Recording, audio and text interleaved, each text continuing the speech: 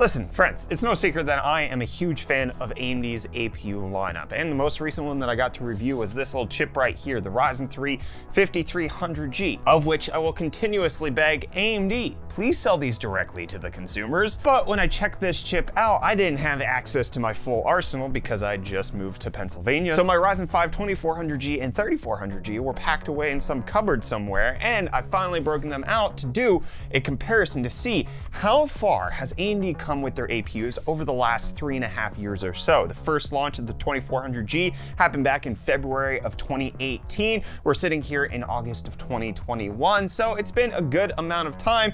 And does the 5300G wipe the floor with the 2400G? Is it even worth considering the first gen APU that AMD came out with the Ryzen chip? Should you consider the 3400G. I didn't happen to get my hands on the 4300G for testing, but we can see first generation to latest generation, quad core to quad core. What does it look like? And we're gonna get into all of this after I tell you about today's video sponsor. Today's UFD Tech video is sponsored by ASRock and their Z590 OC Formula motherboard. If you're looking for a high-end motherboard to push the limits of performance on your system, then look no further. Designed by an extreme overclocker, the Z590 OC Formula has features features that help you get the highest frequencies. It's got 16 power phase design with 90A SPS or Smart Power Stage, which is a new power solution with fully optimized integrated MOSFETs with advanced driver IC, which provides current monitoring and more stable current for extreme overclocking. And then it also only has two DIMM slots for minimum rounding to the CPU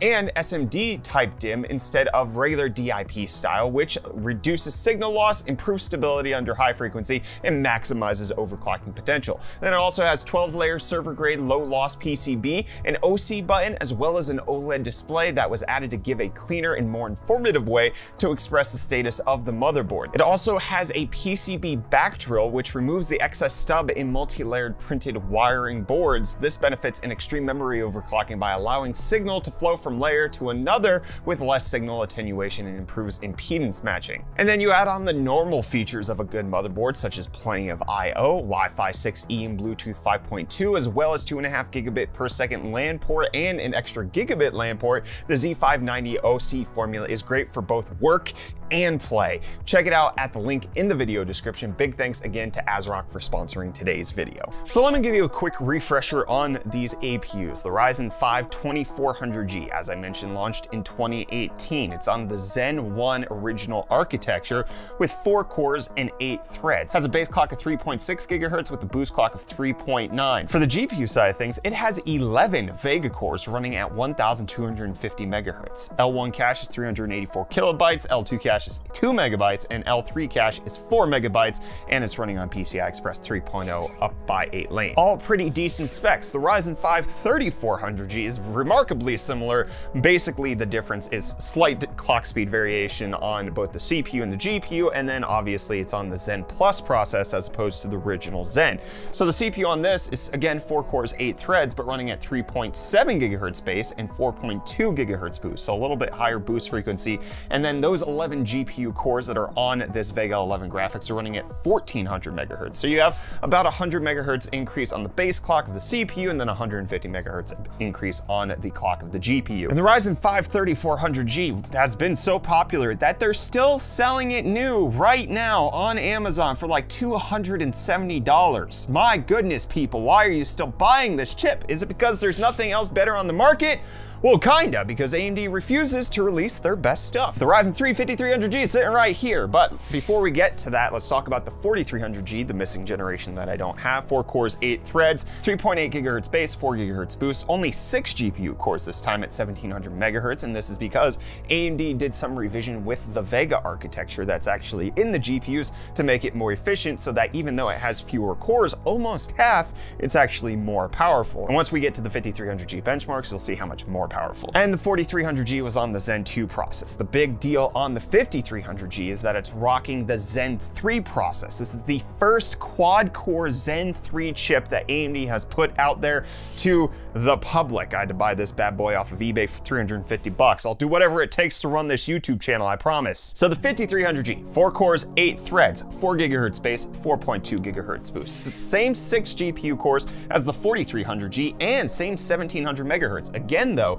AMD announcing that they've made some tweaks and adjustments to the Vega architecture so that it should be faster than the previous generation. One thing to note about the cache sizes on the 5300G is that they're slightly less on the L1 cache, 256 kilobytes versus the 384 kilobytes on the previous Ryzen 5 chips, but you have the same amount of L2 cache at 2 megabytes, but then double the amount of L3 cache, or what AMD likes to call game cache, at 8 megabytes. Again, the Ryzen 3 5300G can't actually run anything more than PCI Express 3.0, but with a quad-core chip, do you really need it? I'm actually going to be testing that out in an upcoming video where I find out what's the best quad-core CPU that you can buy here in 2021, so get subscribed to UFD Tech to stay up to date on all that. So that's a nice little spec rundown. I think it's intriguing to note that the Ryzen 5 class chips, which is supposed to be AMD's mid-tier, right? Like this is where the Ryzen 3 was four cores and four threads when AMD first launched Ryzen, and the Ryzen 7 was eight cores and 16 threads. Well, that's now been stepped down to the Ryzen 3 class. So what used to be mid-tier is now entry level if AMD would ever sell it to us, which is a good advancement over the years. Hopefully, if they ever do release something like this, like a Ryzen 3 5300, maybe not a G, then we could see something that's actually priced at 100 to 120 dollars. That gets you the exact same performance as something like a 2600 did back in the day, but better because of IPC improvements and all that. So, what are the IPC improvements like? Well, let's start off comparing the 2400G to the 3400G, just so you have a baseline understanding of the changes from one generation to the next when it comes to AMD's APUs. So just know I tested these like I test all of my APUs, which is at 720p, lowest possible graphic settings, because I think that's really where these APUs tend to end up when it comes to optimal performance. This was all tested on my Aorus B450 Elite V2, one of the very few boards that can support all the way from the 2400G up to the 5300G. Big thanks to Zach Tech for actually sending me that board. You should go subscribe to him up there. I couldn't have done it without him. And we're running 32 gigabytes of DDR4 3200 megahertz CL16 RAM. So honestly, besides the CPU, I changed nothing else in this system. No motherboard swaps, no RAM swaps, no clock speed changes. Everything was run at stock on the APUs and everything in the motherboard stayed the exact same. So I'm not gonna read all of these benchmarks out to you. You can see them up on the screen right now, but suffice it to say that on average, AMD's Ryzen 5 3400G was roughly 4% faster than the 2400G. There are a few higher end exceptions that I do wanna note. Cyberpunk 2077 running remarkably better on the 3400G to the tune of over 10%. And then also Resident Evil 8, while it only ran 4.6% faster on the 3400G at like regular 720p low settings with FSR turned on, because this is one of the first AAA titles to support AMD's Fidelity FX Super Resolution, the 3400G was 14% faster than the original APU that AMD came out with. And when I say original APU, I'm just talking in the Ryzen lineup. Let's not talk about anything that came before that in the A10, A8 series. I'm not, not touching that. So it looks like AMD's FSR technology works a lot better on Zen Plus with that Vega graphics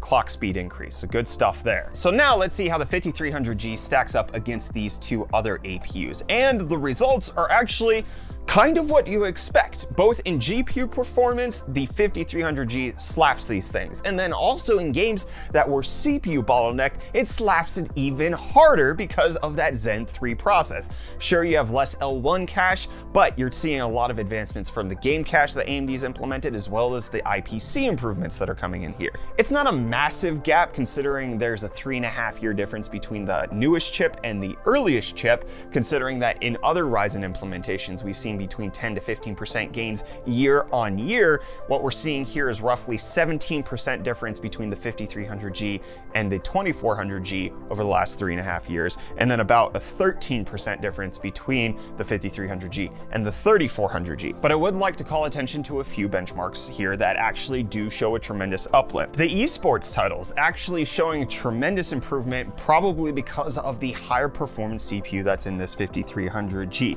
Fortnite showed a 30% gain over the 2400G, as well as Valorant, which showed a 32.5% increase over the 2400G, coming in at 174 FPS. And the other one that saw a major 30% upticks is GTA 5, again, because it's running in that high clock speed territory, where we're finding more and more CPU bottleneck than GPU bottlenecks. So even though the 5300G has roughly half the GPU cores, only coming in with a Vega 6 as opposed to a Vega 11, it's showing that it can be in double digit percentage points versus a Vega 11 chip. That's actually pretty amazing that they downscaled the GPU cores increased the clock speed modestly, in like 300 megahertz, and are still getting these types of performance gains, but then it's accelerated by that Zen 3 process, where when you're in the high frame rate territory, we're looking at more like 30% gains over these previous generations because Zen 3 is just so elevated over where AMD came in with the original Zen architecture. And again, FSR performance looking remarkably good on the 5300G. If we look at just the original benchmark, Resident Evil Village on the 5300G did 58.3 FPS average. Once you turn FSR on, you're at 88.2 FPS average, which is a huge uptick.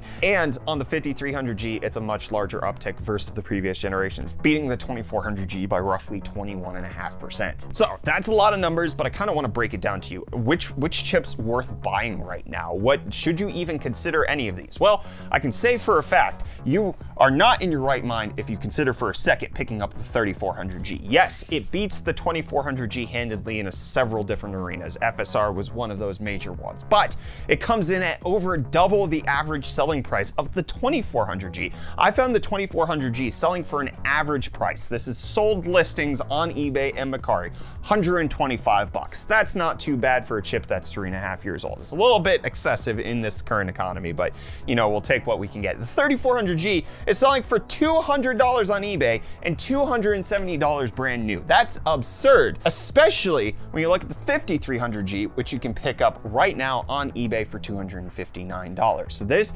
APU is actually a much better value than the current other APU that AMD is offering direct to consumer. So this is yet again my plea, AMD, sell your APUs to consumers. The 5300G should have gone on sale just like the 5600G and 5700G did. This is a great chip.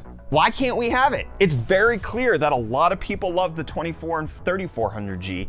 The 5300G would probably sell like hotcakes. Is it because it would cut down on all the other CPU cells that you're trying to get? Is it because it would remove the ability for you to sell the 5600G or the 5600X because this would be too good of value? Is that one of the reasons why we don't have a Ryzen 3 lineup for Zen 3? Because you know people would buy it and it's not as high of margins? Or is there another explanation? Let me know why you think AMD is not selling these APUs direct to consumer. I want to hear from you down below in the comments.